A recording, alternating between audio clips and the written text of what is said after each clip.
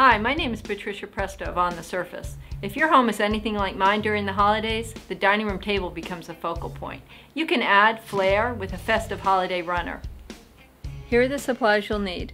A table runner, brown paper or a non-slip sheet to protect your working surface, freeform holiday stencils, I am using snowflakes, low-tack high-quality painter's tape, stencil paint, stencil brushes, a paper plate, and paper towels.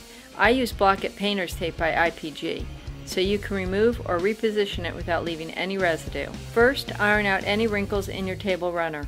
Then tightly tape down your runner with low-tack adhesive painter's tape onto a working surface like a protected table.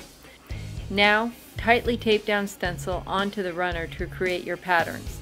The tape also ensures that paint doesn't seep under the stencil, marring your design. You're using freeform stencils, so let your imagination be your guide. Place the stencils wherever you want to create your own pattern.